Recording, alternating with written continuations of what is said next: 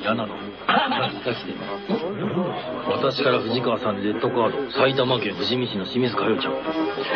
藤川さんのキツつき。いやいや、嘘つき。おいおいおい。早いですよ、これ一枚もらっおい、やべえな、俺。あと10分間ドキドキして食べんだけど。そうですよ。津波さんも週に何回か出してくださるって言ったじゃないですか。最近じーっとも津波さんの声を聞いてなくて寂しいです。ちなみに私、このハガキを読んでいただいたものなんです。もう男なんて信じらんないわ。いつの間にか、いつの間にか、水沼さんはしっかりレギュラーでボケかましてるし。なん本気出てくる。と、とにかく、津波さんを出してください。えー、っていうハガキを来たんですよ。うん。出しますか？嫌だ。立川くんと水沼くんのイエローカードなんて怖くない。この番組は森永製菓がお送りします。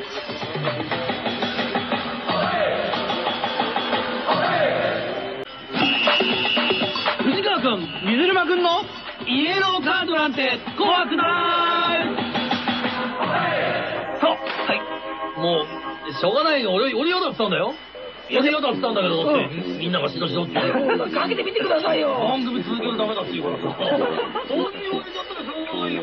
いうと、現実教育の課題、それから、そういうところが決まりながら最新の自分の信用を自分の都合でので、消えるんですけれど、ご覧のような感じで、現実的な推進力が必要な人じゃないですけれど、そして、いろいろ本力的なことで、話をするところです。はいはい。もしもし。はい、私。はい、藤川さん。けど。なんだよ、お前。なんだよ、お前。忙しいんだよ、お前。今、大丈夫なんだよ、今。あ、大丈夫今、知ってるよ。知ってるよ。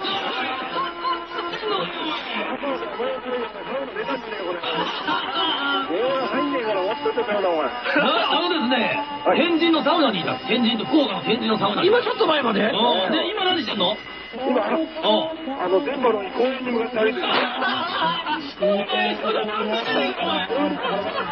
人の出番とかにすごい声でかく声込んで。なかなかわかるな、これ。おうそこがいいんじゃねえあ、そう。え。札幌の公園広場みたいなもんだ。札幌のみたいなもんだ。そんな話ね。そんな感じだね。うまい、うまい。ないのなかったのね。しいから。忙しくはないけど。はい61よ、お前。どうだ61はねえな、別になんでも。やられちまったな。ちょっと情けない話聞いてください。はい電話ってね。あの、一応みんなほら友達だから僕は、あの、いろいろカメラとか囲まれたんだけど、挨拶をしに行ったわけだ、みんな帰る前に。はいはいそしたらあの、あの、なんだっけ、ロッカールームに皆さんいらっしゃって、ラモス会長もいらっしゃいました。一度挨拶しなきゃいけないと思って、挨拶しましたら、で、でも僕がこっちで頑張ってたんで、褒めてあげたいってなんか気持ちがあったみたいで、おうラモスが、たった一言、お大丈夫大丈夫、俺ら体力あるよって。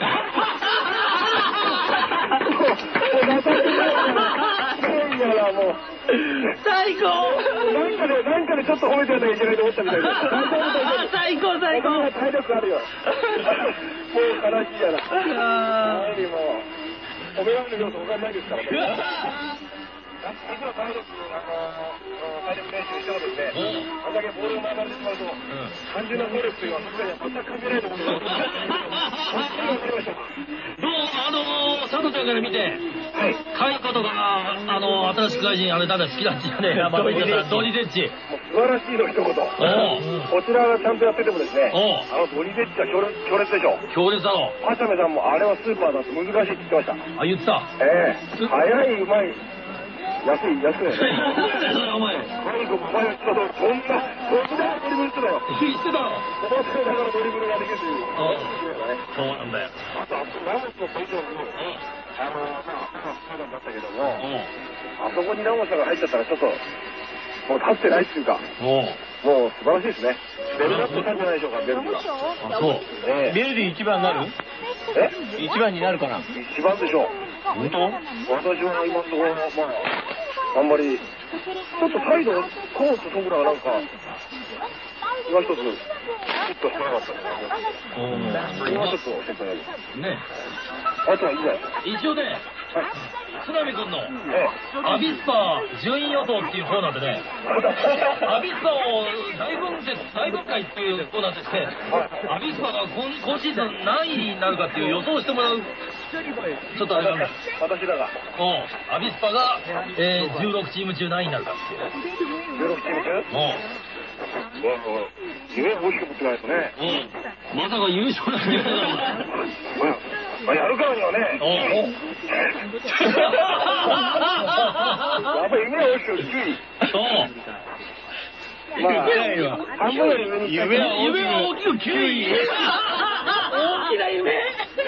いやいや、そんなこと言って、そんなこと言っちゃうと怒られちゃうけど、うんまあ、やるからにはあの8チーム、その半分に分けて上の方にはね、入りたいと思ってやってますけど。わかりました。じゃあ、佐藤ちゃん。はい。じゃあ、またサウナ入って。もう出ちゃったんだよ。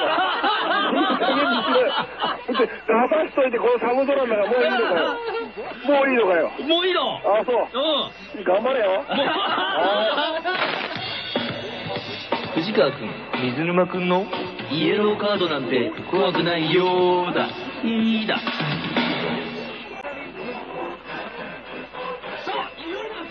開幕ですよ。いいですよ。日本放送ですよね。日本放送ですよね。何ですかえ、今週土曜日、サッカー熱狂スタジオと題しまして、サッカー中継豪華3本立て。とても日課でも聞けないようなですね、3本立てですよ。まず午後1時50分から55分から、子供競技場ツーリー対参加戦を、解説なんと、あの一人ぼっちのノーリングルフレアの、もうがなんと2人でやります。そんな豪華に1本目からすごいですよ。ここでピャって引っ張って、そして夕方6時50分から、水原のマッ対友野戦を、あのケムケムこと煙山アナウンサー、そしてあの山口君、山口君ってもこの辺に山口君でしょ山口君、そしてさらに夜の9時からは、アトランタオリンピック最終予選、日本対学生をマレーシアから、なんとあのマレーシアから実況生中継、3月16日は日本放送でサッカー付けです。藤川くんと水沼くんのイエローカードなんて怖くない。この番組は森永製菓がお送りしました。